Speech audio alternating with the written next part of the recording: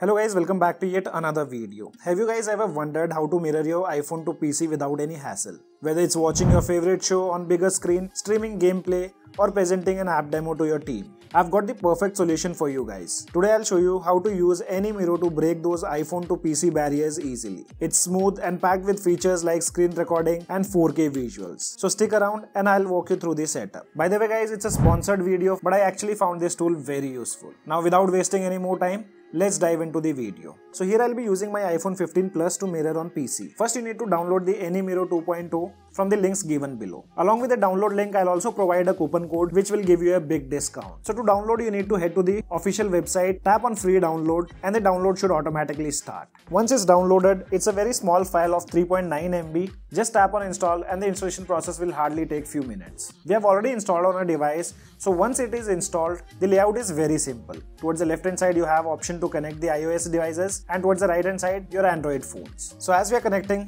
iPhone 15 Plus, so let's select this first option.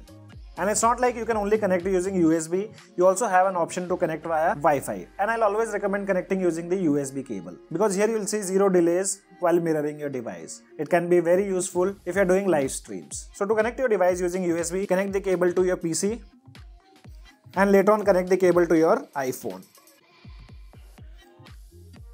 On the iPhone, you need to allow all the necessary permissions. It generally asks you only one thing, which is trust this computer. I'll tap on trust and the drivers will automatically be installed soon you connect your device to PC. Now just tap on OK and later on once disconnect your device and again reconnect.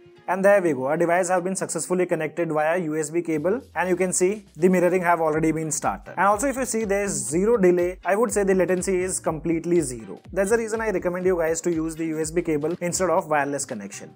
But if you guys have a good Wi-Fi connection, there also you won't see much of latency issues. Under preferences, you get two options. One is general settings, second one is screenshot and recording. And you can see on both iOS and Android, we do have resolution support up to 4K and the frame rate support up to 120 FPS. But if you guys are doing the live stream, I would recommend you guys to use 1080p and keep the frame rate at 30 FPS. Using these settings, your PC won't have much of burden while live streaming. So it's very simple to connect your device using the USB cable. Now let me show you how to connect your device using Wi-Fi. So here if you tap on the Wi-Fi, you can see the steps are very simple which says open control center, tap on screen mirroring and select AnyMiro So here we have the control center. You can see the quick setting tile of screen mirroring. If I tap on it, you'll also see AnyMiro along with my PC name. Tapping on it, it will hardly take few seconds and your device screen will be mirrored using Wi-Fi.